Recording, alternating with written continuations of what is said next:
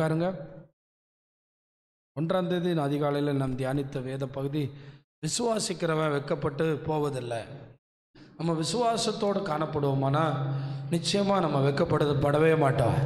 ஆண்டவரை நம்பின தேவ பிள்ளைங்க ஒரு நாளும் வெட்கப்பட்டு போனதே இல்லை. நம்ம அதை வேதத்தில் வாசிக்கிறோம். சிலருக்கு காலதாமதங்கள் ஆயிருக்கலாம் வருடங்கள் தாண்டி இருக்கலாம் ஆனால் தேவன் யாரையும் ஏமாற்றவோ வெட்கப்படுத்தவோ இல்லை. நாமும் தேவனை நம்பி இருந்தால் நிச்சயமாக வெட்கப்படவே மாட்டோம். அல்லையிலோயா ஆமாம் அன்னைக்கு பார்த்தீங்கன்னா எங்கெங்கேயும் மனிதர்களை நம்பி வெட்கப்பட்டு போனவர்கள் ஆ- ஆயிரக்கணக்கான பேர் உண்டு. மருந்துகளை நம்பி ஏமாற்றப்பட்டவர்களும் உண்டு. ஆனால் தேவனை நம்பி ஏமாற்றப்பட்டவர்கள் இல்லை. அதற்கு நாம் சாட்சிகளாக இருக்கிறோம். அல்லையிலோயா அதனால் கத்தருடைய வார்த்தை மனுஷன் புறஜாதியானாலும் யூதனானாலும் கிரேக்கனானாலும் அவரை விசுவாசிக்கிறவன் எவனோ அவன் வெட்கப்பட்டு போனதில்லை. அதனுடைய அடிப்படையில் இன்னைக்கு விசுவாசத்தை குறித்து நாம் சில காரியங்களை தியானிக்கலாம். எபிரேயர் பதினொன்றாம் அதிகாரம் ஒன்றாம் வசனத்தை வாசிக்கும்படியாக நான் கேட்கிறேன். விசுவாசமானது. விசுவாசமானது. நம்பப்படுகிறவைகளின் உறுதியும். நம்பப்படுகிறவைகளின் உறுதியும். காணப்படாதவைகளின் நிச்சயமுமாய் இருக்கிறது. அடுத்த வசனத்தை வாசியுங்கள். அதனாலே. அதனாலே. முன்னோர்கள் நற்சாட்சி பெற்றார்கள். அருமையான தேவனுடைய பிள்ளைகளை இங்கே சில முன்னோர்களுடைய லிஸ்ட் போட்டிருக்கு. அதை நீங்கள் வீட்டில் போய் படிக்கணும். அவங்க எல்லாரும் காணாதவைகளை எப்படி உறுதியாக நம்பினாங்கன்னு பார்க்கணும். ஆண்டவர் அவங்களுக்கு எப்படி சாட்சி கொடுத்தாருன்னு பார்க்கணும். அவங்க எப்படி வெக்கப்படாமல் காப்பாற்றப்பட்டாங்கன்னு நீங்கள் பார்க்கணும். ஏன்னா நம்முடைய ஆண்டவர் இங்கே எடுத்துக்காட்டோடு எழுதியிருக்கிறார். ஒரு அற்புதமான ஒரு பகுதி. இந்த அதிகாரம் ஒரு அற்புதமான பகுதி. இங்கே ஏனோக்கை குறித்து சொல்லப்பட்டிருக்கு நோவாய்க்கை குறித்து சொல்லப்பட்டிருக்கு ஆபிரகாமை குறித்து சொல்லப்பட்டிருக்கு ஈசாக்கை குறித்து சொல்லப்பட்டிருக்கு ஆமாம் மோசையை குறித்து சொல்லப்பட்டிருக்கு கிதியோனை குறித்து சொல்லப்பட்டிருக்கு. அவங்கெல்லாம் அசாத்தியமான காரியங்களை செஞ்சாங்க. எப்படி இவங்க செஞ்சாங்க அப்படின்னு நம்ம யோசிக்கும்போது விசுவாசத்தில் செஞ்சாங்க. ஏன்னா கிதியோனெல்லாம் செஞ்சதை நினச்சி பார்த்தா ஆச்சரியமாக இருக்குது சிம்சோன் செஞ்சதை நினச்சி பார்த்தா ஆச்சரியமாக இருக்குது ஒரு கழுதை தாடை எலும்பை எடுத்து ஆயிரம் பேரை அடிக்கிறாரு. என்ன? எப்படி பார்த்தாலும் அந்த பக்கம் இருந்து ஒருத்தனாவது நம்மளை அடிச்சிருப்பானே. அடிக்கல. விசுவாசத்தில் அவர் செயல்பட்டதை நாம் பார்க்குறோம். பெலிஸ்தர்களை நிர்மூலமாக்குனதை நாம் பார்க்கிறோம். அப்படி விசுவாச வீரர்களுடைய பட்டியல் அங்கே போட்டிருக்கிறது. நீங்களும் விசுவாசித்தால் நிச்சயமாக தேவன் உங்கள் வாழ்க்கையிலும் அப்படிப்பட்ட காரியங்களை செய்வார் நான் எப்பொழுது சொல்றது ஒன்று தான் ரெண்டு கை தட்டினா தான் ஓசை வரும். இந்த பூமியில் கத்தர் எவனாவது யாருக்காவது ஏதேனும் ஒன்றை செய்ய வேண்டுமானால் அவர் விசுவாசம் உள்ளவனாக இருந்தால் போதும். ஆமாம் தண்ணீர் திராட்சரசமாய் மாறினதை கண்டதில்லை. ஆனால் அந்த ஜாடியிலே ஊற்ற சொல்லும்போது ஊற்றி நிரப்பினார்களே அதுதான் விசுவாசம். அதை எடுத்து பரிமாறுங்களே என்று சொன்னபோது பரிமாறினார்களே. நான் சிந்திப்பது உண்டு. கலர் மாறி இருந்ததா? சுவை இருந்ததா? என்று யோசிக்கவில்லை. சுவை பார்த்ததாக தெரியவில்லை. எடுத்து ஊற்றுங்கள் என்று சொன்னார்கள். இதுவரை தண்ணீர் திராட்சரசமாய் மாறினதை அவர்கள் கண்டதில்லை. எடுத்து பரிமாறினார்கள். அந்த கல்யாணம் முழுவதும் ஒரே பேச்சு தான் முந்தின ரசத்தை விட பிந்தின ரசம் சுவை மிகுந்ததாக இருக்கிறது. இயேசுவை விசுவாசித்தவனுடைய வாழ்க்கை முந்தின வாழ்க்கையை விட பிந்தின வாழ்க்கை அற்புதமானதாய் மாறும் அதனால தான் சொல்கிறேன் நீங்கள் விசுவாசம் தான் உங்களை ஜெபிக்க வைக்கும். விசுவாசம் தான் உங்களை தேவனிடத்தில் கொண்டு வரும். விசுவாசம் தான் உங்களை கீழ்ப்படிய வைக்கும். விசுவாசம் தான் உங்களை பரிசுத்தமாக்கும். விசுவாசம் தான் உங்களை வேதாகமத்தை நேசிக்க வைக்கும். விசுவாசம் தான் உங்களை தேவனிடத்தில் கொடுக்க வைக்கும். இது எல்லாம் விசுவாசம் என்கிற இடத்துல இருந்துதான் வருகிறது. விசுவாசிக்கிறவர்களை சொல்ல வேண்டாம். அவர்களாகவே ஜெபிப்பார்கள். ஆமா. அவர்களுக்கு தெரியும் தேவன் தான் தர்றாரு. உலகம் தரவில்லை என்று அவர்களுக்கு ஆணித்தரமாய் தெரியும். இதுவரை எனக்கு வாழ்வளித்தது அவர்தான் என்று அவர்களுக்கு தெரியும். அதனால் அவர்கள் ஜெபிப்பார்கள். அவர்கள் தேவனிடத்தில் பெற்றுக்கொண்டவர்கள். அதனால தான் நீங்கள் தேவனுடைய வார்த்தை நமக்கு ஆணித்தரமாய் சொல்லுகிறது. நம்முடைய முன்னோர்கள். அதனாலே சாட்சி பெற்றார்கள். சார்லஸ் டார்வின் என்கிற ஒருவர் சொன்னார் ஆமாம் அமீபாலிருந்து உலகத்தில் மனுஷன் வந்தான் குரங்கிலிருந்து மனுஷன் வந்தான். ஆனால் அவருடைய முடிவுரையை உலகத்துக்கு மனிதர்கள் சொல்லவில்லை.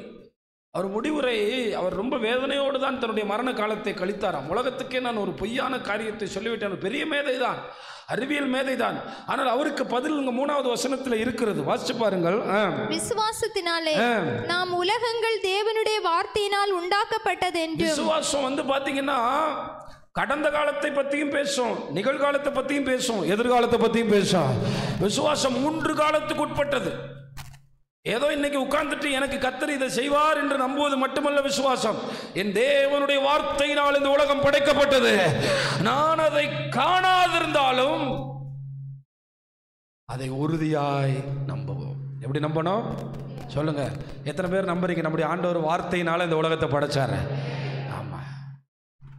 எனக்கு ஒரே ஒரு கேள்வி என்னென்னா இவ்வளவு டெக்னாலஜி வளர்ந்த பிறகும் ஒரு மனுஷ குரங்குலேருந்து கூட ஒரு மனுஷன் வரமாட்டேங்கிறான். கேட்டால் சொல்லுவாங்க லட்சம் கோடி ஆண்டுகளுக்கு போகணும்னு. எங்கே போகிறதுன்னு தான் தெரியல. என்ன கோடியா? ஆமாம் ரெண்டாயிரம் வருஷத்துக்கு முன்னாடி இருந்தவங்களுடைய மனைவி பேரும் வாழ்ந்தவங்களுடைய இடமே எனக்கு ஒழுங்காக தெரியல. ஆனால் என் வேதம் முதல் மனிதனிலிருந்து என் இயேசு வரை அவங்களுடைய தாய் தகப்பனுடைய பெயரை தெளிவாக எழுதி கொடுத்திருக்கிறது. இப்படி ஒரு வேதத்தை நீங்கள் பார்த்துருக்கிறீர்களா? அல்லேலூயா. அப்படியே அவங்க அம்மா பேர்களை எல்லாம் அந்த வம்சத்தை அப்படியே கத்தர் வடிவமைத்து கொண்டு வந்தார். அதனால தான் விசுவாசத்தினால இது தானாக உண்டாயிருச்சுன்னா உங்கள் வீடு மட்டும் ஏன் தானாக உண்டாகலை? நீங்கள் உட்காந்து குழி தோண்டி காங்கிரீட் போட்டு கட்டி அப்போ ஏன் இந்த உலகம் மட்டும் தானாக வந்துருச்சு? லாஜிக் வேணுமா வேணாமா சொல்லுங்க. அப்போ இன்னைக்கு தானாக வந்துருச்சுன்னு சொல்கிறானே படைத்தவர் ஒருவர் இருக்கிறாரு. ஒவ்வொரு நொடியும் நம்மால் அவரை உணர முடியும். நாம் தவறு செய்யும் போது உணர முடியும். இயற்கைகளை பார்க்கும்போது உணர முடியும். நாம் ஜெபித்த அற்புதங்களை பெறும்போது உணர முடியும். ஏன்னா எபிரேர் பதினொன்று ஏழு அப்படி தானே சொல்லுது. விசுவாசம் இல்லாமல் தேவனுக்கு பிரியமாக இருப்பது ஏனென்றில் நம்ம எல்லாம் தேவனிடத்தில் இங்கே வந்திருக்கிறோம். நமக்கு என்ன? நமக்கு என்ன கிடைக்குது? ஒன்றும் இல்லை. இப்போ பார்த்தீங்கன்னா எலெக்ஷன் கூட்டத்தில் போன பெண்கள் சண்டை போடுறாங்க. ஐநூறுரூவா தர்றேன் பிரியாணி தர்றேன்னு எங்களை கூட்டிகிட்டு போனாங்க. எங்களுக்கு ஒன்றுமே தர மாட்டேங்கிறாங்க காசை கொடுக்க சொல்லுங்கள் நாங்கள் போகணும் வீட்டுக்கு. என்னவா? ஐநூறுரூவா தர்றேன். ஆனால் நம்ம இங்கே வந்திருக்கோம். தேடுகிறவர்களுக்கு பலன் கொடுக்கிற ஒரு தேவன் இருக்கிறார். அந்த வசனத்தை வாசிச்சு பார்த்தீங்கன்னா தெரியும். விசுவாசம் இல்லாமல். ஆறாவது வசனம் விசுவாசம் இல்லாமல். தேவனுக்கு பிரியமாய் இருப்பது. இருப்பது. கூடாத காரியம். கூடாத காரியம். ஏனென்றால் ஏனென்றால் தேவனிடத்தில் சேருகிறவன். நீங்க எல்லாரும் தேவனிடத்துல சேரும்படி தானே இங்க வந்திருக்கீங்க? தேவனிடத்துல இல்ல. பாஸ்டர் ஒரு கூட்டத்துக்கு வரலைன்னா திருவிருந்து கொடுக்க மாட்டாருன்னு வந்திருக்கீங்களா? அப்படி வரல இல்ல. என்ன விசுவாசத்தோட வந்திருக்கீங்க? தேவனிடத்தில் சேருகிறவன். அவர் உண்டென்று. அவர் நிச்சயமா இருக்கிறார். அவர் பரலோகத்தில் இருக்கிறார். எனக்காக செயல்பட்டு கொண்டிருக்கிறார். அவர் உண்டு என்பதை நாங்கள் நம்புகிறோம். அவர் உண்டு என்றும் அவர் தம்மை தேடுகிறவர்களுக்கு. பலன் அளிக்கிறவர் என்றும். அவர் பலன் அளிச்சதுனால தான் நமக்கு வேலை கிடைச்சிச்சு. அவர் பலன் அளிச்சதுனால தான் நமக்கு சாப்பாடு கிடைச்சிச்சு. அவர் பலன் அளிச்சதுனால தான் வாடகை வீட்டில் இருந்த நம்ம சொந்த வீட்டுக்கு வந்தோம். சத்தமா சொல்ல மாட்டீங்களே? அவர் பலன் அளிச்சதுனால தான் மாசம் மாசம் நமக்கு சம்பளம் வருது. அல்லையிலோயா அதை நினைக்கும் தேடுறதை நிறுத்தி பாருங்களேன் அந்த பக்கமும் குறையும். நீங்கள் வேணால் தேடுறதை நிறுத்தி பாருங்க அந்த பக்கமும் குறையும். சம்பளம் வரும் ஆனால் நிற்காது ஆனால் கத்தரை தேடி பாருங்க. இன்று முதல் உன்னை ஆசீர்வதிப்பேன் என்று சொல்கிறாரு அங்கே தான் சொல்கிறார் அவங்க எப்போ ஆகாய தீர்க்க தரிசன புஸ்தகத்தில் ஆண்டவரை தேடாமல் மலைக்கு அப்புறம் வீடு கட்ட போயிட்டாங்க. வீடு கட்ட போனது நல்லது தான் முதல்ல ஆண்டவருக்கு ஆலயம் கட்டிட்டு அங்கே வீடு கட்ட போயிருக்கணும் அவங்க. ஏன்னா அது தேவ சித்தமாக இருந்துச்சு. அதனால தான் கோரேச கத்தர் எழுப்பினார். அதுக்காகத்தான் அவங்க வந்தாங்க. வந்த வேலையை விட்டுட்டு வேற வேலை பார்த்துட்டாங்க. என்ன வேலையை விட்டுட்டு? வந்த வேலையை விட்டுட்டு ஏன்னா பெஞ்சாதி பிள்ளைங்கள்லாம் பாபிலோனில் இருக்கு. இன்னும் கூட்டிட்டு வரல. வந்ததே ஆலயத்தை கட்டுறதுக்கு ஒரு பெரிய டீமாக வந்திருக்காங்க. ஆண்கள் மட்டும்தான் வந்திருக்காங்க. அப்போ வந்த வேலையை செய்யாமல் மனைவிமார்கள் எல்லாம் கூட்டிகிட்டு வந்து வீட்டில் குடியேற்றணுமே ஒரு புதுமண புகைவிழா போட்டுருவோம். புதுமண புகுவிழா வேணும் கண்டிப்பாக ஆமேன். கண்டிப்பாக வேணும். நான் உங்களுக்காக ஜோம் பண்ணுறேன் சர்ச் எல்லாரும் கட்டணும்ல. உங்கள் வீடுகளை கத்தர் கட்டி தருவாராக. ஆனால் நீங்கள் கத்தரை தேடணும். ஏன்னா கத்தர் கட்டாராகில் வெரி குட் கட்டுவார் உங்களுக்காக. நீங்க அவருக்காக கட்டணும் அவருக்காக கொடுக்கணும்னு நினைக்கும் போதே அவர் உங்களுக்காக நினைச்சிட்டாரு. தாவிதை பார்த்து அப்படிதான் சொன்னார். அதனால தான் கத்தருடைய வார்த்தை சொல்லுது. நம்ம எப்படி கட்ட முடியும் நம்ம நினைக்கிறோம். ஆண்டவர் நமக்காக செய்வார். அல்லையிலூயா ஆமாம் அதனால நீங்க கவலைப்படாதீங்க. நம்ம ஒரு சகோதரி இங்கே வந்து ரொம்ப ஆண்டவர் நேசிச்சு நேசிச்சு ரொம்ப கொடுப்பாங்க. அப்போ பார்த்தீங்கன்னா அவங்களுக்கு நேர நகரில் வீடு இருந்துச்சு. அவங்க அப்பா அம்மா சொல்லியிருந்தாங்க உனக்கு தான் இந்த வீடு. ஆமாம் உனக்கு தான் இந்த வீடை நான் தருவேன்னு. ஆனால் அந்த அம்மா ஆண்டவரை ரொம்ப நேசித்து கொடுத்த உடனே ஆண்டவர் பார்த்தீங்கன்னா பட்டணங்காத்தானுக்கு அந்த பக்கத்தில் சொந்த வீடு கட்டுறதுக்கு உதவி செஞ்சுட்டார். இப்போ சொந்த வீடு ஒரு பெண்ணே கட்டியிருக்காங்க. இப்போ டெய்லி வேலைக்கு போயிட்டு அந்த சொந்த வீட்டில் போய் தங்கியிருக்கிறாங்க. ஆண்டவர் ஒரு நல்ல காங்கிரட் வீடை பிள்ளைகளுக்கு கொடுத்துருக்காரு. ஏன் தெரியுமா பிரியமானவர்களே? ஒன்றை புரிந்து கொள்ள வேண்டும். தம்மை தேடுகிறவர்களுக்கு பலனளிக்கிற கத்தார நம்மை தேடுகிறவர்களுக்கு நீங்கள் தேடி இங்கே வந்திருக்கீங்களே இதெல்லாம் ஆண்டவருடைய குறிப்பில் இருக்குது உலக மனுஷனே நீங்கள் அவங்க வீட்டுக்கு போனீங்கன்னா ஏதாவது கொடுத்து அனுப்பணும்னு நினைக்கிறான் தேவன் சும்மா அனுப்புவாராங்க. கையை நல்லா தட்டி கத்தருக்கு ஒரு மகிமை சொல்லுங்களேன். அல்லையிலூயா தம்மை தேடுகிறவர்களுக்கு இந்த விசுவாசம் உங்களுக்கு வரணும். அப்பதான் நீங்களா தேடுவீங்க. அப்பதான் நீங்களா ஜபிப்பீங்க. அப்பதான் நீங்களா பாடுவீங்க. விசுவாசம் இல்லைன்னா ஏமாத்தப்பட்டிருங்க நாட்கள் வீணா போயிடும் வருஷம் வீணா போயிடும் காலம் வீணா போயிடும் ஆனால் ஆண்டவர் ஏமாற்ற மாட்டார்ல. அதனால தான் ஒன்றாம் வசனம் பார்த்தோம். விசுவாசம் என்பது காணாதவைகளை உறுதியாக நம்புறது. காணாதவைகளை நிறைய பேர் தேவனை தரிசனங்களில் பார்த்துருக்காங்க. பார்த்ததில்ல. ஆனால் உறுதியாக நம்புகிறேன் தேவன் இருக்கிறாருன்னு. நம்புறீங்களா நீங்களும் உங்களை பற்றி ஆண்டவர் ரெண்டாயிரம் வருஷத்துக்கு முன்னாடி பேசியிருக்காரு. மரணத்துக்கு முன்னாடி. என்ன சொல்கிறீங்க உங்களை பற்றி என்னை பற்றி உங்களை பற்றி பேசியிருக்காரா? யோவான் சுவிசேஷத்துக்கு போய் பாருங்கள் உங்களை பற்றி பேசியிருக்காரு. யோவான் சுவிசேஷம் இருபதாம் அதிகாரம் இருபத்தொம்போதாம் வசனத்தை பாருங்கள் நம்மளை பற்றி அங்கே பேசியிருக்காரு. யோவான் இருபது இருபத்தொம்போது. அதற்கு இயேசு அதற்கு இயேசு. தோமாவே தோமாவே. நீ என்னை கண்டதினாலே விசுவாசித்தாய். நம்ம ஆளு தான் நம்ம ஊருக்கு வந்தவர் தான் தோமா. தோமா இந்தியாவுக்கு வந்தவர் தான் இந்த பக்கம் கூட வந்திருந்தாலும் வந்திருப்பார் நமக்கு தெரியாது. ஆனால் இந்தியாவுக்கு வந்தார் கேரளாவுக்கு வந்தார் மெட்ராஸில் நடந்தார். அவரை பார்த்து சொல்கிறாரு தோமாவே நீ என்னை பார்த்ததுனால நம்புற. காணாதிருந்தும் விசுவாசிக்கிறவர்கள். காணாமல் விசுவாசிக்கிறவர்கள். பாக்கியவான்கள் என்றார். நம்மளை பார்த்து தான் கத்தர் அன்னைக்கே சொல்லியிருக்கிறாரு. நம்ம இயேசுவை பார்க்காட்டாலும் அவரை நாம் விசுவாசிக்கிறோம். தேவன் உண்டு என்று நம்புகிறோம் ஆனால் அந்த விசுவாசம் நல்ல கவனிங்க அந்த விசுவாசம் உறுதியாக இருக்கும் எனக்கு அவனுங்க அதுதான் ரொம்ப முக்கியம். நீங்கள் செய்தி அதுதான் முக்கியமானது. சில நேரம் நீங்கள் ஆண்டவரை நல்லா தேடிக்கிட்டே இருப்பீங்க. பிரச்சனை பெருசாயிடும் உங்கள் மைண்டில் பிசாசு உங்கள் மூளைக்குள்ளே வேலை செஞ்சு நம்ம ஜோம் பண்ணத்தானே செஞ்சோம்? நம்மளும் கூட்டத்துக்கு தானே போனோம்? நமக்கு தரல ஆண்டவர் இருக்காரா?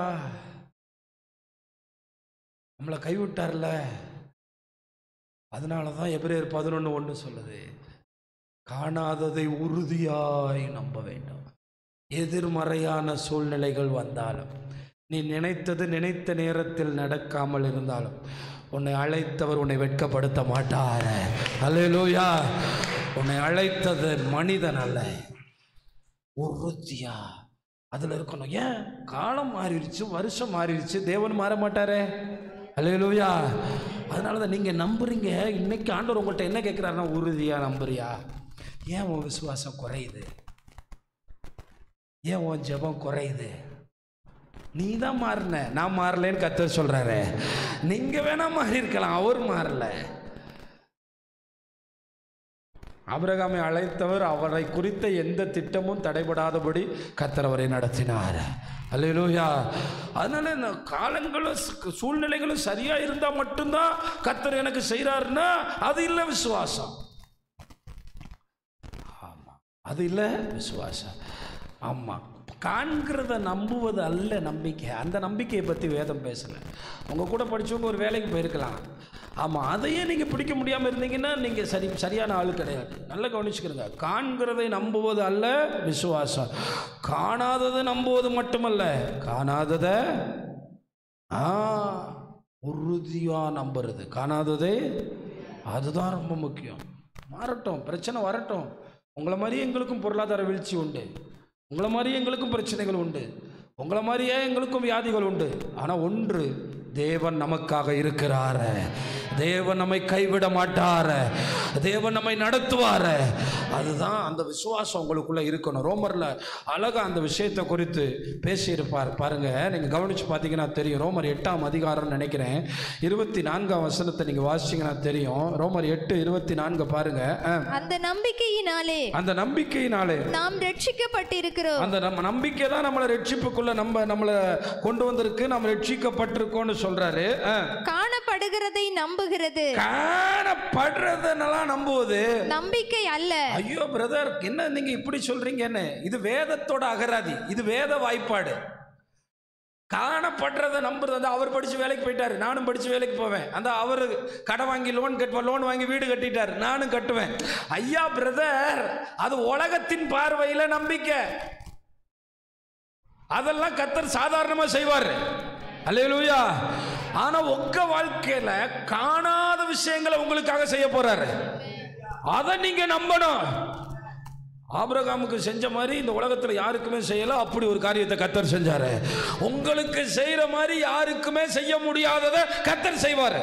தூங்குறவங்க சத்தமா ராமேன்னு சொல்லுங்க. வெரி குட் எல்லாரும் சேர்ந்தே சொல்லிட்டீங்க. இந்த பின்னாடி கடைசி வருஷம் கடுப்பேத்துது என்னைய. ஆமாம் நீங்கள் தூங்கினேன்னா நானும் தூங்கிடுவேன் கொஞ்சம் கொஞ்சம். பின்னாடி அஞ்சு பேருமே அப்படியே தான் இருக்குது பாவம் வயசானவங்க என்ன செய்ய விட்டுரும்? சரியா? நம்ம வேலையை பார்ப்போம். சரியா? அப்போ என்ன சொல்ல வந்தேன்? காண்கிறதை நம்புவது. நீங்கள் என்ன காண்றீங்க? டைம் ஆச்சே? மாதம் கடந்துருச்சே? வருஷம் கடந்துருச்சு? ஐயோ நாலு பேர் நம்மளை அப்படி சொல்கிறாங்களே ஐயோ நம்ம இன்னும் இப்படி இருக்கோமே. இன்னும் நமக்கு இப்படி போயிட்டுருக்கே. அதை பற்றி இங்கே கத்தர் பேசலை. காணாததை நம்புறதை பற்றி பேசுகிறாரா அப்போ இப்போ பிரதர் அது எங்களுக்கு கொஞ்சம் நம்பிக்கை வரமாட்டேங்குதே. நம்பிக்கை வரமாட்டேங்குதே. என்ன சொல்கிறேன் அப்படி தானே அதுக்கு தான் இந்த வசனம். உங்களை உங்களை பலப்படுத்துறதுக்கு தான் இந்த வசனம். என்ன சொல்லப்பட்டிருக்கு? காண்கிறதை நம்ப நம்புவது நம்பிக்கை இல்லை ஆ. ஒருவன் தான் காண்கிறதை நம்ப வேண்டுவது என்ன? ஒருவன் தான் காண்கிறதை நம்ப வேண்டியது என்ன? நாம் காணாததை நம்பினோம் ஆகில். அது வருகிறதற்கு பொறுமையோட காத்திருப்போம். நான் போன வாரம் சொன்ன மாதிரி நம்ம பரலோகத்துக்காக காத்திருக்கோம் பார்க்கல ஆனா பரலோகத்துக்கு போறோம்னு நம்புறோம் அல்லேலூயா. நமக்காக ஒரு பெரிய ராஜ்யத்தை ஏன்னா நம்முடைய வாழ்க்கையிலேயே நமக்கு கிடைக்க போறது எல்லாமே பார்க்காதது தான்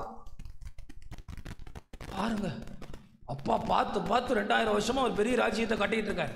அதனால இந்த பார்க்கறதெல்லாம் நீங்க லெகுவா பெற்றுக்கொள்ள முடியும். இந்த பார்க்கறதெல்லாம் நீங்க லெகுவா பெற்றுக்கொள்ள முடியும். ஆனா உங்களுடைய பார்வை காணாததை குறித்து உறுதியா? நம்பணும். சிலருக்கு சில நேரம் தாமதமான காரியங்களை செய்வாரு. ஆனா விசுவாசத்துல உங்களை உறுதிப்படுத்தணும்னு விரும்புறாரு. அப்போ நான் நம்ப இந்த இதெல்லாம் கிடைக்கும்னு நம்பினேன். எனக்கு கொஞ்சம் சோர்வு வந்துருச்சே. என்ன வந்துருச்சு? சோர்வு வந்துடும்ல வந்துருச்சே. அப்போ நான் என்ன பண்ணுறது அதுக்கு தான் இங்கே கீழே ஆண்டவருடைய பொறுமையோடு காத்திருப்போம்னு சொல்லிட்டு அடுத்த வார்த்தை சொல்கிறார் இருபத்தி ஆறில் பாருங்க. அந்தபடியே அந்தபடியே ஆவியானவரும் நம் நமது பலவீனங்களில் நமக்கு உதவி செய்கிறார். பாருங்க நீங்கள் இந்த மாதம் ஒன்று கிடைக்கும்னு நினச்சிட்டீங்க. கிடைக்கல. உங்களுக்கு சோர்வு வந்துருச்சு. நீங்கள் ஜெபம் பண்ண மாட்டீங்க. உங்களுக்கு ஜெபம் கொஞ்சம் ஒரு மாதிரி கசப்பாக இருக்கும். ஆண்டோட்டு வர மாட்டீங்க ஒரே ஏமாற்றமாக இருக்கும். உள்ளே இருந்து ஆவியானவர் சொல்லுவார் ஜெபம் பண்ணு சீக்கிரம் உனக்கு தரப்போறாரு.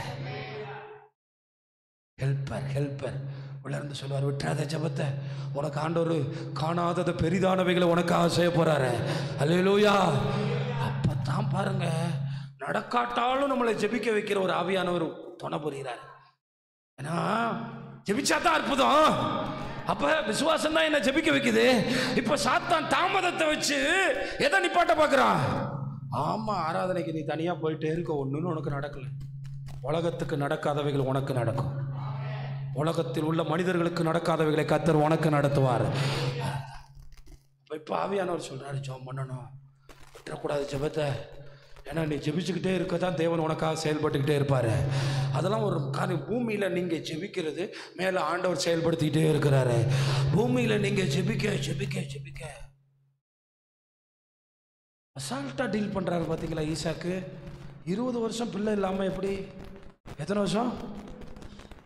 இடம் மாறல ஆண்டவரை விட்டு விலகலை பலி செலுத்துறதை நிறுத்தலை ஆண்டவரை விட்டு விலகி போகல. ரெபேக்கால கொஞ்சம் ஆண்டவர் அறியாத கூட்டம் தானே? அந்த பக்கம் அந்த பக்கம். இழுத்துட்டு வந்தாச்சு. ஆனால் இவனுக்கு தெரியும் எங்கள் அப்பாவை நூறு வயசில் ஆசீர்வச்சவர். எனக்கு தர்றதெல்லாம் லேசானது. அலையலூயா அலையலூயா அவங்க அப்பாட்ட இருந்து அவனுக்கு ஒரு ஒன்னே ஒன்று கடந்து வந்திருக்குங்க. விசுவாசம் கடந்து வந்திருக்கு. உங்கள் அப்பாட்ட இருந்து என்ன வந்திருக்கு உங்களுக்கு? உங்கள் குடும்பத்திலேருந்து என்ன வந்திருக்கு? என்னை கேட்டுக்கொண்டிருக்கிற தேவனுடைய பிள்ளைகளை உங்கள் பிள்ளைங்களுக்கு விசுவாசத்தை மட்டும் கடத்திட்டீங்கன்னா உங்கள் பிள்ளைங்க கண்ணீர் விடாமல் கத்தர் நடத்துவார்ல. உங்கள் பிள்ளைகளுக்கு அதை மட்டும் சொல்லுங்களே ஆண்டோர் செய்வார்ப்பா. இந்த சின்ன வேலையை வச்சு நம்மளை நடத்தினாருப்பா. உங்கள் மூணு பேரை வளர்த்தெடுக்க உதவி செஞ்சாருப்பா. சின்ன வேலையை வச்சு உங்களுக்கு நல்ல ட்ரெஸ் வாங்கி கொடுக்க வச்சாருப்பா. எங்களை நடத்தினவர் உங்களை நடத்துவார். அதான். விசுவாச பள்ளிக்கூடத்தில் படிச்சிடணும் விசுவாசத்தை கற்றுக்கணும் அதனால தான் எதிர்மறை எதிர்மறை உங்களை விட எங்களுக்கு தேவைகள் அதிகம். உங்களை விட எங்களுக்கு பிரச்சனைகள் அதிகம். உங்களை விட எங்களுக்கு சோர்வுகள் அதிகம். இந்தா வர்றேன்னு சொல்லும் ஒரு வாரம் வந்துடும் அடுத்த வாரம் வராது. எப்படி? காணாததை உறுதியாக நம்பி சோர்வு ஏற்படாமல் ஜோம் பண்ணுறதுக்கு ஆவியானவர் நமக்கு உதவி செய்கிறாரு. அவங்களுக்காக ஜெபம் பண்ணுறதை நிறுத்தாத அந்த பிள்ளைக்காக ஜோம் பண்ணுறதை நிறுத்தாத. அந்த சகோதரனுக்காக ஜோம் பண்ணுறதை நிறுத்தாத. அந்த சகோதரிக்காக ஜோம் பண்ணுறதை நிறுத்தாத. எப்படி? இதான் இவ்வளோ நாள் ஆச்சு அவங்க இன்னும் வரலையே. ஆவியானவர் நமக்கு உதவி செய்கிறார். என்ன செய்கிறாரா? ஆமாம் முறிந்த ஆவி யாரால் தாங்கக்கூடும்? மனுஷனால முடியாது. நான் காத்திருந்து காத்திருந்து சோர்ந்து போனேனே. ஆனால் தேவ ஆவி ஒரு பெரிய சந்தோஷத்தை என் ஆண்டவர் எனக்காக செய்வார். என் ஆண்டவர் எனக்காக நடத்துவார். அதனால தான் சொல்லப்பட்டிருக்கு ஆவியானவர் நமக்கு என்ன செய்கிறாரா? உங்களுக்கு உதவி செஞ்சிருக்காரா? அப்படிப்பட்ட சோர்ந்து போன நேரங்களில் உங்களை தூக்கி எடுத்திருக்காரா? உங்களை தூக்கி எடுத்திருக்காரா? ஆமாம் ஏன்னா ஆவியானவர் எப்படி ஜோம் பண்ணுவாராம் அந்த மாதிரி நேரத்தில்? எப்படி ஜோம் பண்ணுவாராம் கிடைக்காத நேரத்தில் அற்புதம் நடக்காத நேரத்தில் எப்படி ஜோம் பண்ண வைப்பாரா? எப்படி ஜோம் பண்ண வைப்பாருன்னு பாருங்க.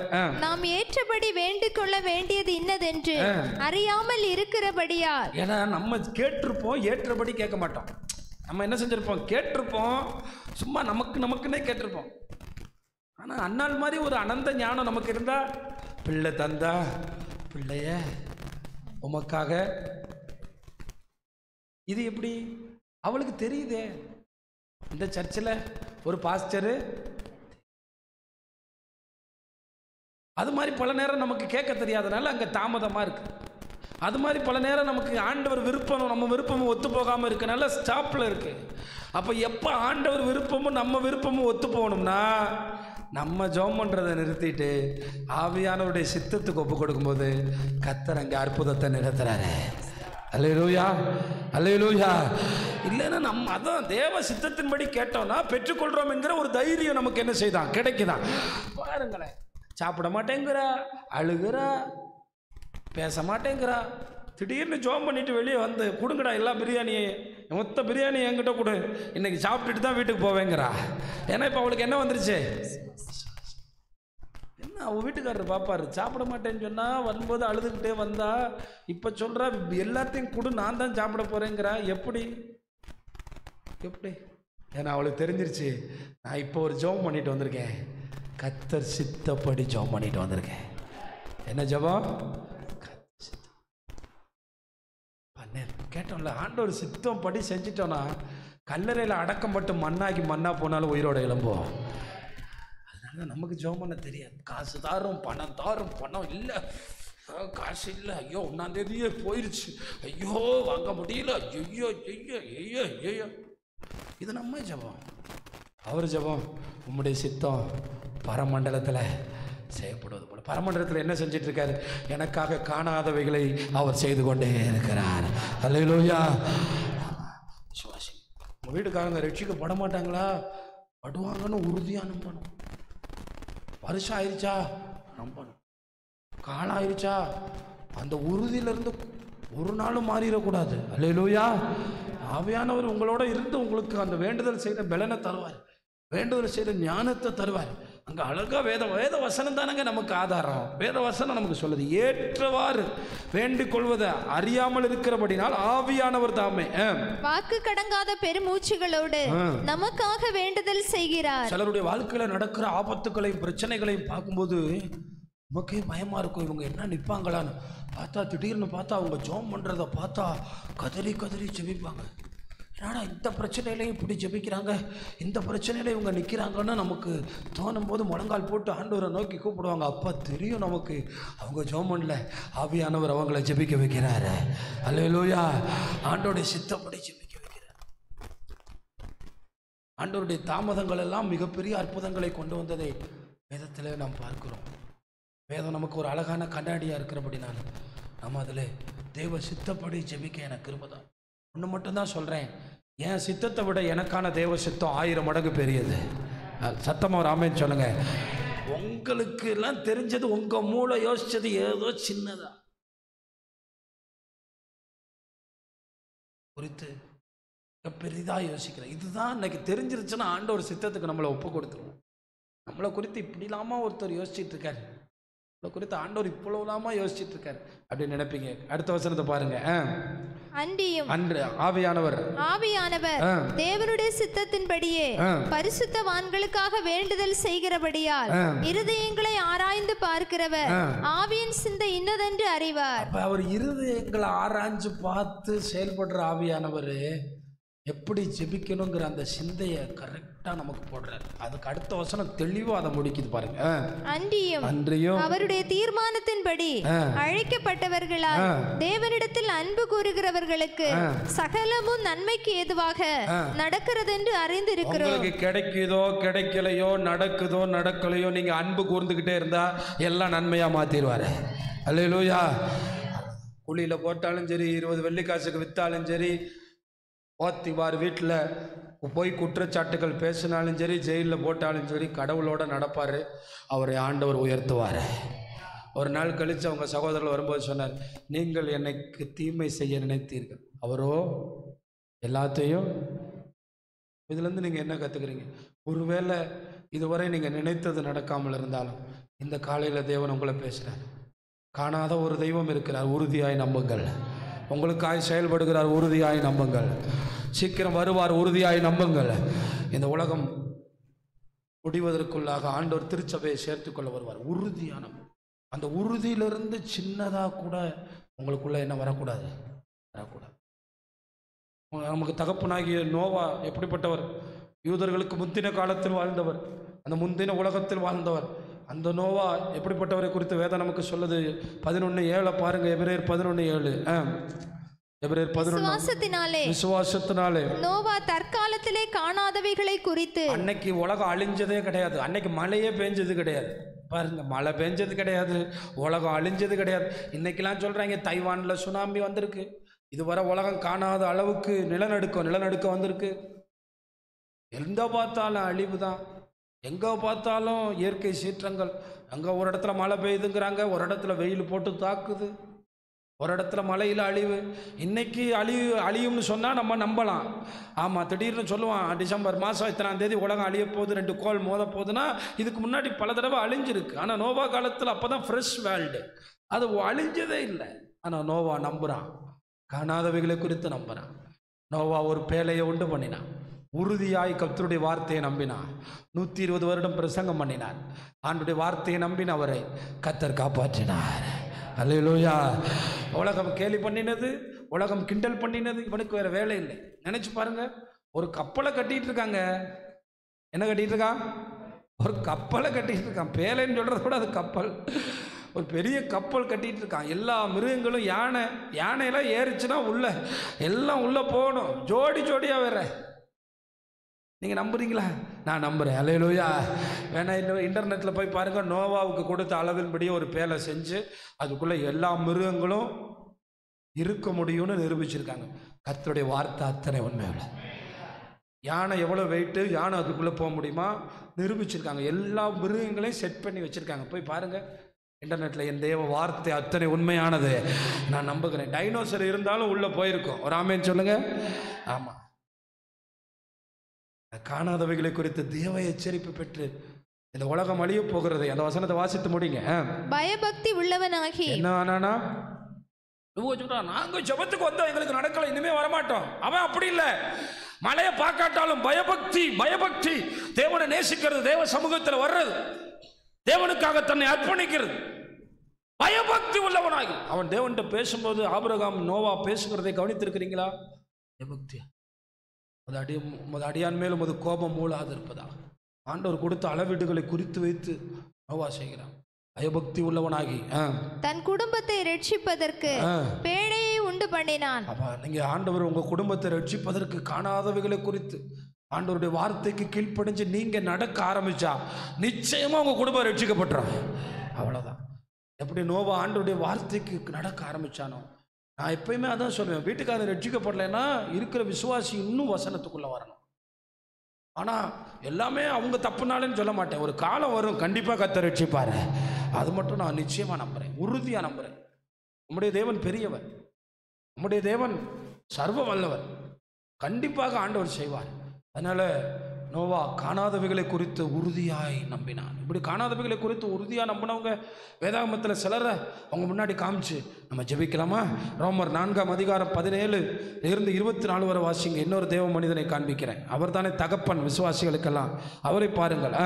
அநேக ஜாதிகளுக்கு உன்னை அநேக ஜாதிகளுக்கு உன்னை தகப்பனாக ஏற்படுத்தினேன் என்று எழுதியிருக்கிறபடி எழுதியிருக்கிறபடி அவன் அவன் தான் விசுவாசித்தவருமாய் ஆம் ஆ, மரித்தோரை உயிர்ப்பித்து மரித்தோரை உயிர்ப்பித்து இல்லாதவைகளை இருக்கிறவைகளைப் போல் அழைக்கிறவருமாய் இருக்கிற.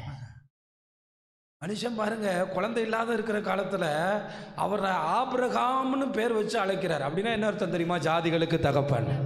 அல்லேலூயா. அவனே இல்லைங்கிறான். ஆண்டவர் சொல்றாரு உனக்கு நீ தகப்பன் அப்படிங்கிறாரு. அவன் சொல்றான் இல்லைங்கிறான். இவர் சொல்றாரு என்ன? தகப்பன். அதுவும் ஒரு ஜாதிக்கு இல்ல ஜாதிகளுக்கு தகப்பன். இப்ப சொல்றாங்க இஸ்மவேல் சந்ததி அரபியருங்கிறாங்க அதுக்கும் தகப்பன் ஆபிரகாம்.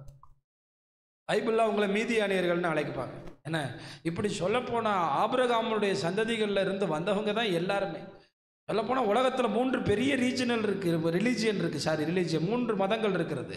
ஒன்று யூத மதம் இன்னொன்று இஸ்லாமிய மதம் இன்னொன்று கிறிஸ்தவ மார்க்கம் மூணுக்கும் தகப்பன் யார் தான் இப்ராஹிம்ங்கிற பேர் ஆபிரகாம்ங்கிற பேர் மொத்த உலகத்தில் இன்னைக்கு வைக்கப்பட்டிருக்கு. உலகத்தில் அதிகமான நபர்களுக்கு வைக்கப்பட்ட பெயராக ஆபிரகாமுடைய பெயரும் இருக்கிறது. ஆனா அன்னைக்கு சொன்னா இல்ல எனக்கு இல்ல. அன்னைக்கு ஆண்டவர் சொன்னார் நீ தகப்பான். சத்தமா ஆமேன்னு சொல்லுங்க. எனக்கு இல்லைங்கிறான். ஆண்டவர் எப்படி கூப்பிடுறாரு? ஆமா. இனிமே இல்லைன்னு சொல்றவங்களா இருக்கக்கூடாது. ஆமா. ஆண்டவர் இல்லாதவைகளை இருக்கிற வண்ணமாக அழைக்கிறவரை. இல்லைன்னா இருக்குன்னு சொல்லுங்க. உனக்கு ஒரு தெய்வன் இருக்கிற ஏன்னா காணாதவைகளை உறுதியாய் நம்புவதே விசுவாசம். அவர்களை தேவன் வெக்கப்படுத்த மாட்டான் அதில் அந்த உறுதியில் இந்த பக்கம் இந்த பக்கம் போக வர்றது போல பரவாயில்ல. உறுதி இந்த பக்கம் குறைஞ்சிக்கிட்டே வந்துச்சுன்னா அற்புதம் பெற முடியாது. நானல போல ஆடுகிறவர்களாக இருந்துடக்கூடாது. உறுதியாக ஆபிரகாமை பார்த்து சொன்னார் இல்லாதவைகளை இருக்கிற வண்ணமாய் அழைக்கிறவருமாய் இருக்கிற தேவனுக்கு தேவனுக்கு முன்பாக நம்ம எல்லாருக்கும் தகப்பனானான் தகப்பனானான் வாசிங்க. சந்ததி இவ்வளவாய் இருக்கும் என்று சொல்லப்பட்டபடியே சந்ததி இவ்வளவா இருக்கும் என்று சொல்லப்பட்டபடியே. தான் அநேக ஜாதிகளுக்கு தகப்பனாவதை. நம்புகிறதற்கு ஏதுவில்லாது இருந்தும் அதை நம்பிக்கையோட விசுவாசித்தான். எப்படி சொல்லப்பட்டிருக்கு பாருங்க எப்படி விசுவாசிச்சானா? சொல்லுங்க. நம் வீட்டுக்கு ஆண்டவர் வந்தார்னா ஆண்டவரை பராமரிக்கிறது ஆண்டவரை கனம் பண்ணுறது ஆண்டவருக்கு ஆகாரம் ஆயத்தப்படுத்துவது அவனுடைய நம்பிக்கையை காட்டுகிறது.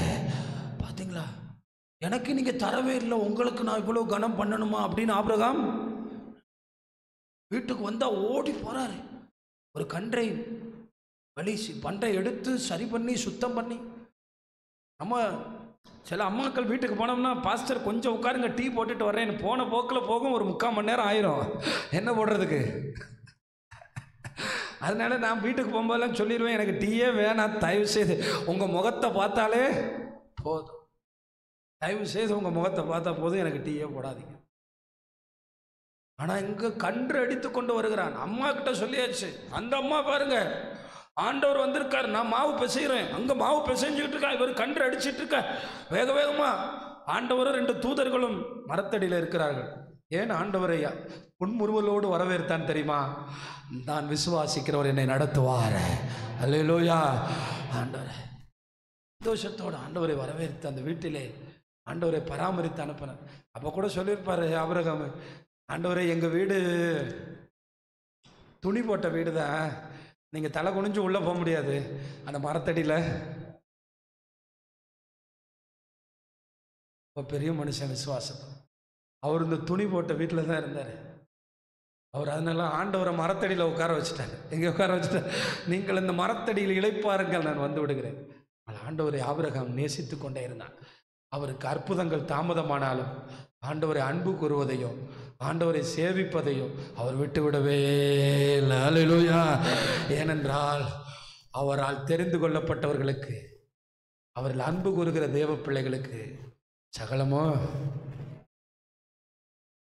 எழுபது வயது அறுபத்தைந்து வயதில் அழைத்த தெய்வம் தாமதமானாலும்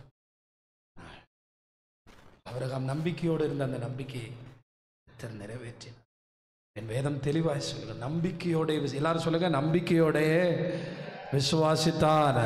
பத்தொன்பதாம் வசனத்தை பாருங்க. அவன் விசுவாசத்திலே பலவீனமாய் இருக்கவில்லை. அவன் ஏறக்குறைய நூறு வயதுள்ளவனாய் இருக்கும்போது. தன் சரீரம் செத்து போனதையும். சாராளுடைய கற்பம் செத்து போனதையும் எண்ணாதிருந்தான். என்னல முதல்ல என்னமோ சிரிச்சது உண்மைதான். முதல்ல நடக்காதுன்னு சொன்னது உண்மைதான். ஆனால் எப்போ ஆண்டவர் நடக்கும்னு சொல்லிட்டாரோ அப்போவே விசுவாசிட்டான்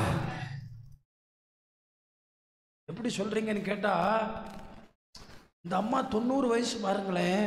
இந்த அம்மாவும் முதல்ல நடக்காதுன்னு தான் கதவுக்கு பின்னாடி சிரிச்சிச்சு. ஆனால் தொண்ணூறு வயசில் ஒரு அம்மா என்ன சொல்லணும்னா முடியாது வாந்தி எடுப்பேன். தப்பிக்க முடியாது ஒம்பது மாதம் வயசாயிருச்சு.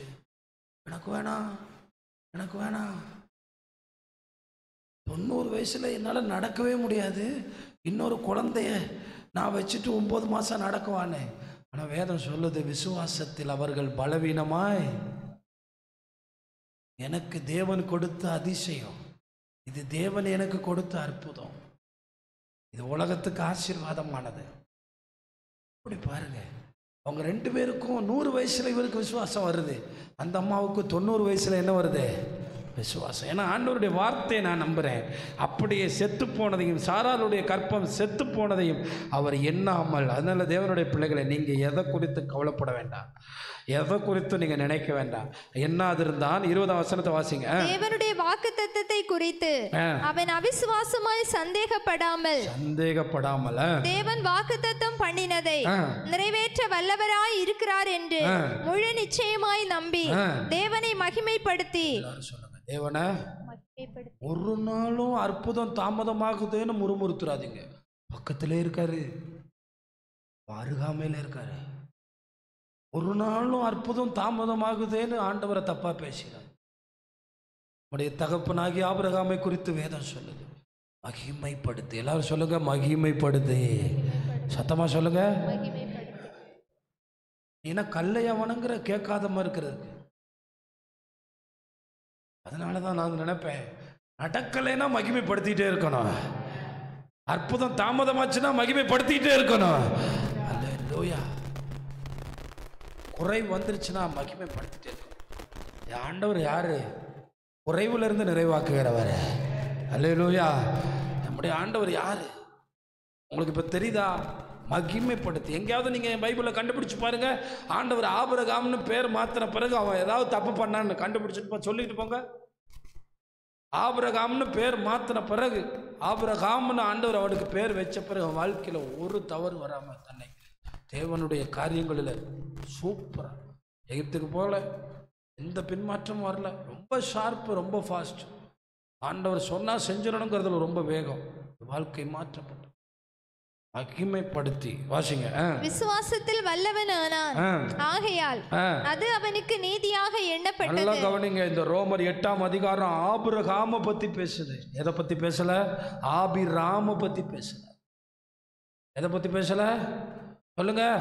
ஆபிராம்னா என்னன்னு தெரியணும்னா நீங்க போய் ஆபிராம பத்தி படிங்க. ஆண்டவர் ஆபிராம என்னவா மாத்திட்டாரு? அதுக்கப்புறம் உள்ளதை பத்தி பேசுது. ரோமர் எட்டு. எல்லாரும் சொல்லுங்க நீங்க விசுவாசிச்சா தேவன் அதை நீதியாக எண்ணுவார். அது எப்படி நடக்கும்? அது நடக்கலைன்னா தான் நீ விசுவாசிக்கணும். அது எங்கேயாவது நடந்திருக்கா? எங்கேயுமே நடக்காது. உனக்கு தான் நடக்க போகுது. ஏன்னா காணானதை எப்படி நம்பினார் ஆபிரகா உறுதியா உறுதியா நம்ப. காணாததை எப்படி நம்பினார் நோவா? உறுதியா நம்பினார். இப்போ பாருங்க யோசேப்பு ராஜ்ய பாரத்தை விட்டு மறிக்க போறாரு. யோசேப்பு மறிக்க போகிற நேரத்தில் எல்லாரையும் கூப்பிட்டு ஒன்று சொல்கிறாரு பயங்கரமான ஒரு தீர்க்க தரிசனம். யாத்திராகம புஸ்தகம் பதிமூணாம் அதிகாரம் பத்தொன்பதாம் வருஷம் யாத்திராகம புஸ்தகம் பதிமூணாம் அதிகாரம் பத்தொன்பதாம் வருஷம் வாசிங்க. மோசே தன்னோடே கூட. மோசே தன்னோட கூட. யோசேப்பின் எலும்புகளை எடுத்துக்கொண்டு போனான். எடுத்துக்கொண்டு போன நல்ல கவனிங்க நானூற்றி முப்பது வருஷம் அடிமைத்தனம். யோசேப்புக்கு ஒரு நூற்றி பத்தம் பத்து வருஷம் போனாலும் ஒரு முந்நூறு வருஷம் இடைவெளி. யோசேப்பு சாகும்போது சொன்ன விஷயம் எப்படி மோசேக்கு தெரிய வருது? நினைச்சு பாருங்க முந்நூறு வருஷம் இடைவெளி ஆயிடுச்சு. அவர் இறந்து போயிட்டாரு. அவர் நூற்றி பத்து வயசில் இறந்துட்டார். யாரு? யோசேப்பு. யோசேப்பு இறந்து போன போது யோசேப்பு சாகும்போது என்ன சொல்லிட்டு செத்தார் தெரியுமா? நம்ம எகிப்தோடு அழிஞ்சு போகிறவங்க இல்லை. நம்முடைய குடும்பமும் நம்முடைய சந்ததியும் காணான் தேசத்துக்கு நான் போக போகிறோம் சத்தமாக ராமேன்னு சொல்லுங்களேன். எதுக்காக தெரியுமா? அந்த அடக்க இந்த மண்ணோட நம்ம அழிய போகிறதில்ல நமக்காக காணான் தேசம் காத்திருக்கிறது. அல்லேலூயா! அல்லேலூயா! என்ன தேசம் காத்திருக்கு? அதனால தான் ஒரு நம்பிக்கையோட நம்ம அடக்கம் பண்ணுறோம் எப்படி அடக்கம் பண்ணுறோம் நம்ம ஏன் ரொம்ப அழுதுகிட்டே இருக்கிறது இல்லைன்னா திரும்ப போய் அவங்கள பார்ப்போம். நமக்கு ஒரு நம்பிக்கை இருக்குது நம்புறீங்களா? அந்த நம்பிக்கை. அதை போல் யோசேப்பு சொன்னார். ஏற்கனவே மம்மி செஞ்சு தான் வச்சுருப்பாங்க. என்ன செஞ்சு வச்சுருப்பாங்க? மம்மி. மம்மினா என்ன தெரியுமா? எகிப்தியர்களில் பெரிய தலைவர்கள் யாராவது செத்து போனால் குடலெல்லாம் எடுத்துட்டு உடம்பை பதப்படுத்தி ஒரு இடத்துல வச்சிருவாங்க. யோசேப்பு ஒரு மம்மின்னு தான் சொல்கிறாங்க மம்மி பண்ணி வச்சுருப்பான். அந்த மம்மிக்குள்ளே கொஞ்சம் எலும்பு இருக்கும். எடுத்துகிட்டு போயிருங்க. நானூற்றி முப்பது வருஷம் ஆகும்போது. அன்னைக்கு அந்த மம்மியை காப்பாற்றுறதுக்கு அவங்க ரெடியாக இல்லை. ஏன்னா அவங்க தன்னையே காப்பாற்ற முடியாத நிலமையில் இருந்தாங்க. தலைப்பில் சங்காரம் நடந்துச்சு. எகிப்தியர்கள் கோலம் கெட்டுச்சு. நேரம் மோசையை போனார். எங்கடா வச்சுருக்கீங்க யோசேப்போட வாடிய காட்டுங்கடா. தான் இந்த இடத்துல இருக்குது யோசேப்போட எலும்பை எடுத்தார். நேரம் தூக்கிட்டு போனார். காணான் தேசத்தில் கொண்டு போய் அடக்கம் பண்ணினார். அல்லேலூயா யோசேப்பு சொன்னார் நிச்சயமாய் கத்தர் உங்களை சந்திப்பார். நிச்சயமாய் நீங்கள் விடுதலை ஆவீர்கள் நிச்சயமாய் இந்த அடிமைத்தனத்திலிருந்து உங்களுக்கு ஒரு விடுதலை உண்டு. சுவாசிகளே கடன் பிரச்சனையில் பலவிதமான பிரச்சனையில் எகிப்தின் அடிமைத்தனங்களில் சிக்கியிருக்கீங்களா? இந்த எகிப்து ஆராதனைக்கு வரவிடாது. இந்த எகிப்து கூட்டத்துக்கு வர விடாது இந்த எகிப்து தேவனை நிம்மதியாக தேட விடாது இந்த எகிப்து வேலை வேலைன்னு சொல்லிட்டு நம்மளை கல்ல இருக்க வைக்கும் செங்கல் இருக்க வைக்கும் வீடு கூட்ட வைக்கும். இதிலிருந்து உடைச்சு காணானின் ஆசீர்வாதத்துக்குள்ள கத்தர் நம்மளை கொண்டு போகிறாரு யோசேப்பு சொன்ன மாதிரி நீ உறுதியா நம்பினா கத்தர் ஒன்னிலிருந்து அற்புதங்களை செய்வார. நீ உறுதியா நம்பினா எனக்கெல்லாம் அதுதான். நான் அந்த பத்திர ஆபீஸுக்கு போனேன் போன வாரம் ஒரு சின்ன தம்பி தான் இருந்தார். முப்பது வயசு பார்க்கும்போது நம்ம பிள்ளைங்க இல்லையே. சின்ன தம்பி தான் இருந்தார் முப்பது வயசு இருக்கும் அவருக்கு. பெரிய பெரிய ஆட்கள்கிட்ட கேட்குறாரு. இடத்த பற்றி விசாரிக்கிறார். அதை பற்றி பட்டா இருக்கா அது இருக்கான்னு கேட்குறாரு. அப்போ பார்க்கும்போது அங்கே நம்ம பிள்ளைங்க இல்லையே. ஆனால் நம்ம நம்புவோம் காணாததை உறுதியாக. அல்லேலூயா நம்புறீங்களா? கை வைத்து சொல்லுங்க. நாங்களும் நம்புறோம் ஆண்டவரே. கையை வைத்து சொல்லுங்க ஆண்டவரே. காணாததை உறுதியா நம்புறோம். அல்லேலூயா கத்தர் நம்முடையவர்களை அப்படி மாற்ற போதுமானவரை. நீங்க மட்டும் விசுவாசிச்சு ஆண்டவரை நோக்கி ஜெபிச்சா கர்த்தர் செய்வார். செய்வார். யோசேப்பு சொன்னார் நிச்சயமா உங்களை விடுவிப்பார். அதான் மோசே போய் அந்த எலும்புகளை எடுத்துட்டு அந்த வசனத்தை முடிச்சிருங்க. தேவன் நிச்சயமாய் உங்களை சந்திப்பார். அப்பொழுது உங்களோட கூட என் எலும்புகளை இவ்விடத்திலிருந்து கொண்டு போங்கள் என்று கொண்டு பொங்கல் என்று. யோசேப்பு சொல்லி யோசேப்பு சொல்லி இஸ்ரவேல் புத்திரரை. உறுதியாய் ஆணையிடும்படி செய்திருந்தான். பாத்தீங்களா? சந்திப்பாருன்னு காணாததை நம்புறாரு உறுதியாவும் என்ன பண்ணியிருக்காரு? ரெண்டுமே இருக்கு. எகிப்திலே வாழ போகிறோம் எகிப்திலே முடிய போகிறோம்னு நம்புறதில்ல நம்பிக்கை. நம்ம வாழ்க்கை எகிப்துக்கு அப்புறம் தான் தொடங்குது சத்தமாக ராமேன்னு சொல்லுங்கள் இங்கே சைக்கிள் அழுத்திட்டு வேலைக்கு போயிட்டு சின்ன கடைக்கு போயிட்டு பெரிய கடைக்கு போயிட்டு அங்கங்கே சுற்றி வேலை பார்த்துட்டு வந்துட்டு இதோட மண்ணோட மண்ணாக போகிறது இல்லை நம்ம. நமக்கு ஒரு வாழ்க்கை இருக்குது சத்தமாக சொல்லுங்கள் நமக்கு ஒரு வாழ்க்கை அதை உறுதியாக நம்பணும். எப்படி நம்பணும்? நான் பேசுகிறது கட்டுக்கதை இல்லை. அங்கே நம்பணும்னா ஒரு ஆள் அங்கே ஏற்கனவே போயிருக்காரா? போயிருக்காரு. என் இயேசு போயிருக்காரு. என் இயேசு அங்கேருந்து வந்தார். அங்கே போயிருக்கார். சீக்கிரம் நாங்கள் அங்கே போவோம். அமெரிக்காவுக்கு என் ஃப்ரெண்டு போயிருக்கான். அதனால நான் நம்புறேன். அமெரிக்கான்னு ஒரு நாடு இருக்குன்னு. அது மாதிரி என்னை படைத்தவர் எனக்காக சிலுவையில் மறித்தவர் பரலோகத்தில் போயிருக்கிறார். அவர் சீக்கிரம் வருவார். நாங்கள் இந்த எகிப்தோடு அழிந்து போகிறவர்கள் இல்லை நமக்கு ஒரு வித்தியாசம் இருக்குது அதை உறுதியாக நம்புறதுக்கு தான் கத்தர் உங்களை இங்கே கொண்டு வந்து வச்சிருக்காரு. இப்போ எப்படி எபிரேயர் பதினொன்றில் ச நற்று நற்சான்று பெற்றார்களோ பரலோகத்தில் உங்களுக்கெல்லாம் ஆண்டவர் சான்று கொடுப்பார். இந்த நேரு நகரை சுற்றி என் பிள்ளைங்க காணாத பரலோகத்தை நம்பி உபாச ஜபத்தில் வந்து உட்காந்துருந்தாங்க ஞாயிறு ஆராதனையில் வந்து உட்காந்துருந்தாங்க உங்களை குறித்து கத்தர் என்ன கொடுப்பார்? காணாமல் என்னை நம்பினார்கள். அவர்களுக்காக நான் ஆயத்தம் பண்ணின இந்த ராஜ்யத்தில் அவர்களை சேர்த்திருக்கிறேன் என்று சொல்லி கத்தர் உங்களை குறித்து சாட்சி. ஒரு அம்மா இருந்தாங்க. பத்து தலைமுறை உள்ளே வரக்கூடாது உள்ளே வரக்கூடாது. அந்த அம்மா அந்த நாட்டை பார்த்ததில்ல. அந்த நாடு எப்படி இருக்குன்னு தெரியாது. அந்த நாட்டை பற்றி அந்த அம்மாவுக்கு என்ன தெரியும்னா பஞ்சத்தில் எங்கள் மாமியார் ஊரை விட்டு வந்து எங்கள் ஊரில் பிழைச்சாங்க. அவ்வளோதான் ரூத்துக்கு தெரியும். ஆனால் ரூத் ஆண்டவரை தெரிஞ்சுக்கிட்டா. இந்த ஆண்டவர் எத்தனை பெரியவர்னு தெரிஞ்சுக்கிட்டா. ரூத்துக்கிட்ட இருந்த ஒரு பெரிய காரியம் என்னன்னா அவளுடைய விசுவாசம். மாமியா சொல்கிறா என் என் வயிற்றுக்குள்ள இன்னொரு குழந்தை உருவாகி அது பிறந்து உனக்கு கல்யாணம் நடக்கிறதெல்லாம் சாத்தியம். கிளம்பு. கிளம்பு. யாரையாவது கல்யாணம் பண்ணிட்டு எங்கிட்டோ போயிரு. யாரையோ கல்யாணம் பண்ணி பிள்ளை பெற்று வாழ்ந்து தயவு செய்து என்னை விட்டு போயிரு. இப்படிப்பட்டவங்கள தான் இன்னைக்கு கத்தர் தேடுறேன் ஆபிரகாமுடைய வம்சத்துக்குள்ள இணைக்க பார்க்குறார்? இயேசுவோட வம்ச வரலாறுக்குள்ள உன்னை இணைக்க பார்க்குறேன் எதின் அடிப்படையில் நீ ஒதுக்கப்பட்டிருக்கலாம்? மோவாபிய ஸ்திரியா இருக்கலாம்? நீ புறக்கணிக்கப்பட்டவளா இருக்கலாம். அந்த விசுவாசம் நம்மளை யாரோட இணைக்குது பாருங்க. எந்த வம்சத்தில் சேர்க்குது பாருங்க. எனக்கு ரொம்ப பிடிச்சதே ஒருத்தி முத்தம் கொடுத்துட்டு போயிட்டா. நான் சொல்கிறா எதை பற்றி வேணாலும் பேசு. ஆண்டவரை விட்டு பிரியறத பற்றி சபைக்கு வர வராமல் இருக்கிறத பற்றி ஜெபிக்காமல் இருக்கிறத பற்றி ஆண்டவரை தேடாமல் இருக்கிறத பற்றி ஆண்டவர் ஜனத்தோடு இணையாமல் இருக்கிறத பற்றி நீ பேசாத. எதை பற்றி வேணாலும் பேசு. உடைய தேவன் உடைய ஜனம் வரணும்னு ஒன்று இருந்தா. எதுக்காக ஆண்டவர் ரூத்து பேரை மத்தை விட்ட எழுத சொன்னார் தெரியுமா?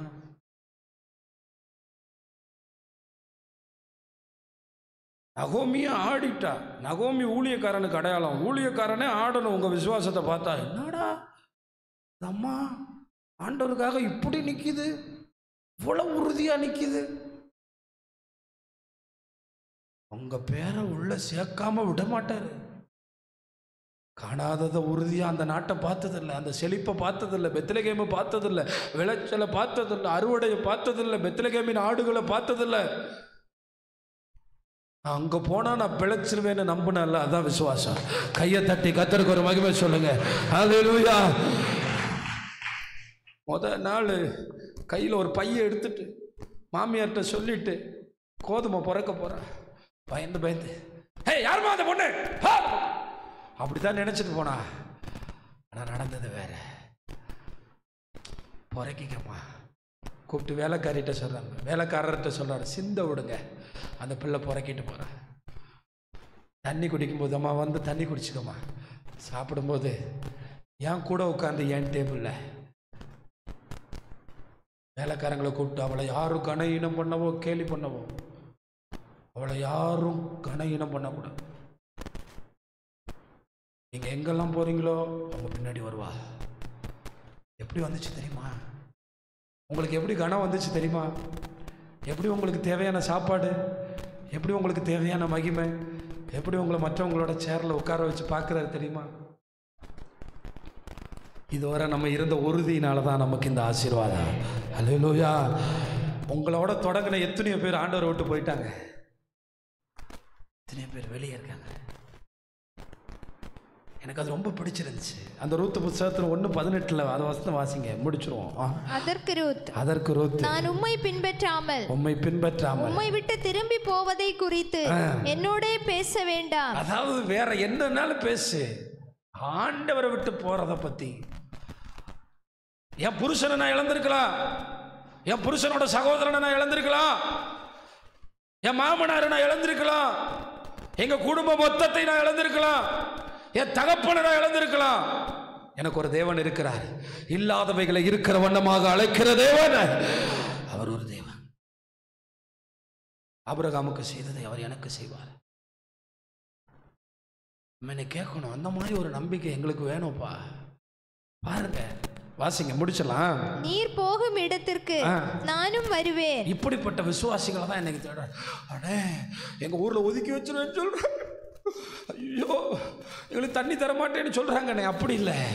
அவன் என்ன செஞ்சாலும் நான் ஆண்டவரை தான் சேவிப்பேன். அவன் தண்ணி தரலைன்னு சொல்கிறான் நீ ஆண்டவருக்காக நின்றா உனக்காக பத்து நாள் மழை பெய்யும். பெய்தான் பார்ப்போம் உனக்காக வானத்தை திறப்பார் வேணும்னா உன் கிணத்தை நல்ல தண்ணியாக கூட மாற்றுவார் ஆனால் பின்வாசல் வழியாக போய் நீ காசு கொடுத்துட்டு வந்தீனா? நான் சொல்ல மாட்டேன்.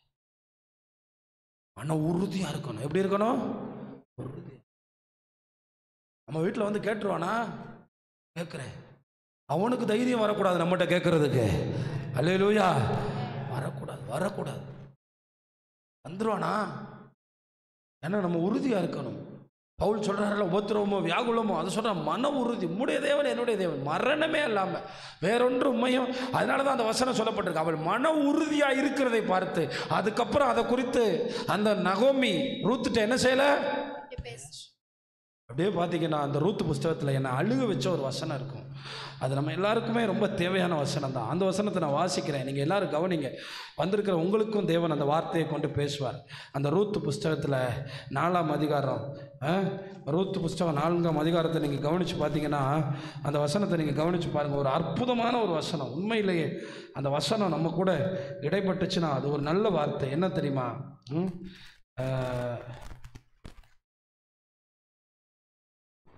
அதாவது பதினாலு நான்கு பதினாலு வாசிங்க அப்பொழுது ஸ்திரீகள். நகோமியை பார்த்து. சுதந்திரவாளி அற்று போகாதபடிக்கு. இன்று உனக்கு தயவு செய்த கர்த்தருக்கு ஸ்தோத்திரம். அவன் பேர் இஸ்ரவேலிலே பிரபலமாக கடவது கை வைத்து சொல்லுங்க சுதந்திரவாளி அற்று போகாதபடிக்கு தயவு செய்த தேவனுக்கு ஸ்தோத்ரா அதாவது நம்ம காலத்துக்கு அப்புறம் நம்ம பிள்ளை சபையில் சுதந்திரவாளியாக இருப்பான் எல்லாரும் சொல்லுங்க சுதந்திரவாளி அற்று போகாது. சொல்லுங்க சுதந்திரவாளி அற்று போகாது. உங்கள் பேர் யாருக்கும் தெரியாது. உங்கள் பேரன் இது பேர் ஊருக்கே தெரியும். அல்லையா சத்தமாக சொல்லுங்களேன். அடுத்து யாரை சொல்லலாம்? யோபு. அப்படி ஒரு வியாதி வந்தால் செத்து போகிறது தான் சரித்திரம். அப்படி ஒரு வியாதி வந்தால் முடிஞ்சிச்சு அவனை பார்த்துட்டு மூணு நாளைக்கு பேசாமல் இருந்திருக்காங்க ஃப்ரெண்ட்ஸு மூணு நாளாக ஏழு நாள். ஏழு நாள் பேசாமல் உட்காந்துருக்காங்க ஒரு மரண வீட்டுக்கு போனால் இப்படி பார்ப்போம் பாடியை பார்ப்போம் சுற்றி பார்ப்போம் அப்படியே நின்றுட்டு அப்படியே வந்துடும் பேச கஷ்டமாக இருக்கும். இளம் வயது மரணம்னா என்னையா கேட்குறது ஆனால் ஏழு நாள் ஒருத்தன்ட்ட பேச முடியாத அளவுக்கு நடந்திருக்கும்னா இப்படி இருந்த ஆள் இப்படி ஆயிருப்பான் போல. உடம்பெல்லாம் சொரியிறான். பொண்ணு. பார்த்துட்டு இவங்க மூணு பேரும் அப்படியே ஏழு நாள் மௌனமாக உட்காந்துட்டாங்க நான் அப்புறமா சொல்கிறான் தேவனிடத்தில் நன்மையை பெற்றனா? விசுவாசம். இப்படிப்பட்ட விசுவாசம் ஒருத்தனை வெக்கப்படுத்தாது. அந்த விசுவாசம் தான் தேவன் உங்கள்கிட்ட கேட்குற நான் கேட்டுக்கொண்டிருக்கிற தேவனுடைய பிள்ளைகளே பிரச்சனை வரட்டும். தேவன் மாறாதவர். பிரச்சனை. தேவன் இருக்கார் உங்க கூட. ஜெபத்தையோ ஆண்டவரை நேசிக்கிறதையோ நிறுத்திடாது.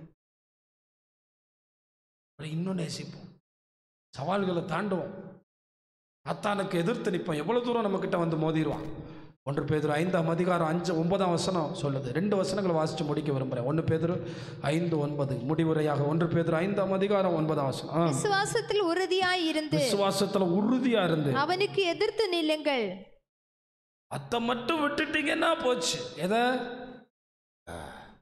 நடக்காத பிரதர் முடிஞ்சிச்சு பிரதர் சொல்லிட்டீங்கல்ல முடிஞ்சிருச்சு. நீங்கள் தானே சொன்னீங்க.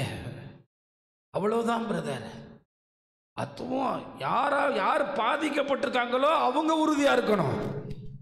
யார் பாதிக்கப்பட்டிருக்காங்களோ யாருக்கு யாருக்கு அற்புதம் நடக்கணுமோ அவங்க உறுதியாக இருக்கணும். அதான் இங்கே சொல்லப்பட்டிருக்கு. விசுவாசத்துல உறுதியா இருந்துட்டு அவனுக்கு எதிர்த்து நின்று பாருங்க அவனுக்கு எதிர்த்து நில்லுங்க. உலகத்தில் உள்ள உங்கள் சகோதரரிடத்திலே ஆ. அப்படிப்பட்ட பாடுகள். நிறைவேறி வருகிறதென்று அறிந்திருக்கிறீர்களே ஆமா, அதனால தேவனுடைய பிள்ளைகளை நீங்க விசுவாசத்துல உறுதியா இருந்து அவனுக்கு எதிர்த்து நில்லுங்க எபிரேயர் மூன்றாம் அதிகாரம் பதினான்காம் வசனம். எபிரேயர் மூன்று பதினான்கு. வாசிங்க. நாம் ஆரம்பத்திலே கொண்ட நம்பிக்கையை முடிவு பரியந்தம் உறுதியாய் பற்றி கொண்டு இருப்போமாகில். கிறிஸ்துவனிடத்தில் பங்குள்ளவர்களாய் இருப்போம். அதனால சந்தோஷம் வரும்போது சந்தோஷம் பொங்குதே பாட்டு பாடுவோம். சங்கடம் வரும்போது சங்கடம் வரும்போது பாடணும். எதே பாட்டு தான் என்ன? சந் சந்தோஷம் பொங்குது. எப்போ பாடணும்? ஆமாம் இன்னும் சிறு வயதில் நம்மளை குறித்தவர். ஒரு நாள் நம்மளை கைவிட மாட்டார். கூட இருப்பார். உறுதியாக இருக்கும் ஆண்டவர் எங்கள் வாழ்க்கையில் எது செஞ்சாலும் அது கரெக்டாக தான் இருக்கும். நாங்கள் எது செஞ்சாலும் தப்பாக இருக்கலாம். ஆண்டவர் எங்கள் வாழ்க்கையில் எது செஞ்சாலும் ரைட்டாக தான் இருக்கும். விசுவாசத்தில் உறுதியாக இருக்கும் காணாதவைகளை உறுதியாக நம்ம ஜெபத்தை நிறுத்த மாட்டோம். எங்கள் உறுதியை நிறுத்த மாட்டோம். முடிவு பரியந்தம் அந்த உறுதியில் நில்லுங்க. சாத்தானுக்கு விட்டு கொடுத்துறாதீங்க. சாத்தானுக்கு இடம் கொடுத்துறாதீங்க. முட்டிவு பரியந்தம் உறுதியாக இருக்கு. நோவா இருந்த மாதிரி யோசேப்பு அறிக்கை செய்த மாதிரி யோபு அறிக்கை செய்த மாதிரி ரூத் அறிக்கை செய்த மாதிரி தேவ மனிதர்கள் விசுவாசத்தில் நின்ற மாதிரி நீங்களும் நின்றீங்கன்னா கர்த்தர் உங்களுக்கு பெரிய காரியங்களை செய்வார். எத்தனை பேர் ஆமேன்னு சொல்கிறீங்க அல்லையா முடிவு பரியந்தம். ஆபிரகாம் முடிவு பரியந்தம் அப்படி இருந்தா. எனக்கு ரொம்ப பிடிச்ச வார்த்தை என்னென்னா ஆண்டவர் குறித்த காலத்தில். அது வீட்டில் போய் பாருங்க. என்ன போட்டிருக்கான்? அப்போ நூறு வயசில் ஈசாக்கை கத்தர் கொடுக்கணும்னு ஆபரகாமுக்கு கத்தர் என்ன குறிச்சிருக்காரு? ஆண்டவர் குறித்த காலம் வரும்போது சத்து தடுக்க முடியாது. அல்லையிலோயா ஆமாம் குறித்த காலத்துக்கு முன்ன வேணுங்கிறது தான் உங்களுடைய பிரச்சனை. அப்போ நீங்கள் ஒரு கர்ப்பிணியாக இருக்கீங்க. நாலு மாதத்தில் குழந்தை வெளியே வரலாமா? எட்டு மாதத்தில் வரலாமா? டாக்டர் சொல்கிறாங்க இன்குபேட்டரில் வைக்கணுமே ஒரு மாதம் குறித்த காலம் வந்தாதான் கண் உருவாகும். அது உருவாகும். கேட்கும் திறன் இருக்கும். உள்ள நல்லா இருக்கும். உனக்கு கத்தர் இன்றைக்கு நீ நினைச்சது கொடுக்காம இருக்கலாம். குறித்த காலம் வரும்போது தேவன் தர்றதை எந்த சத்ருவாலும் தடுக்க முடியாது. நீங்க ஏன் விசுவாசத்துல குறைஞ்சு போறீங்க? இந்த மாசம் முழுசும் விசுவாசத்தை தான் பேச போறேன். ஆமாம். விசுவாசம் இருந்தால் பெரிய அற்புதங்களின் வழியா நீங்க நடக்க போறீங்க. எலும்பி நிற்கலாம் ஆண்டவரே. காணாத